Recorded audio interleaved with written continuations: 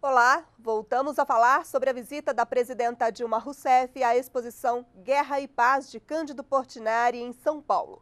A mostra apresenta os dois últimos e maiores murais do pintor brasileiro. Vamos então mais uma vez ao vivo ao Memorial da América Latina, onde está o repórter Paulo La Sálvia. Paulo,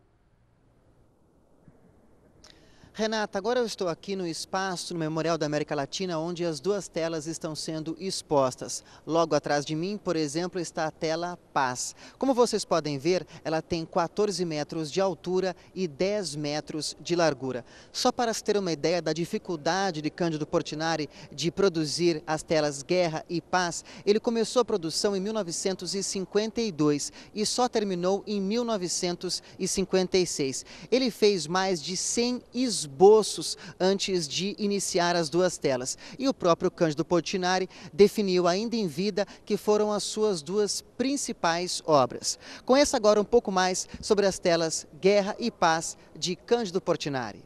Angústia, sofrimento, morte.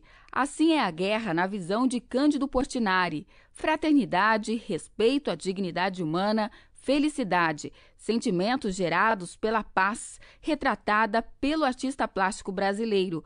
Os dois painéis, Guerra e Paz, foram feitos sob encomenda para que o governo brasileiro presenteasse a sede da Organização das Nações Unidas em Nova York. Entre estudos e pinceladas, na construção de cada personagem foram quatro anos, de 1952 a 1956.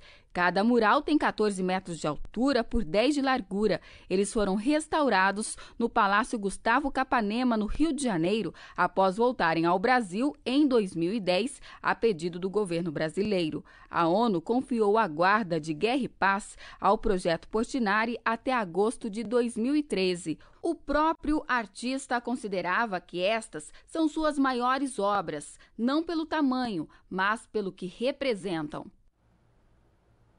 Lembrando então que a TVNBR vai transmitir ao vivo a visita da presidenta Dilma Rousseff à exposição Guerra e Paz de Portinari no Memorial da América Latina em São Paulo. Continue com a gente, NBR, a TV do Governo Federal.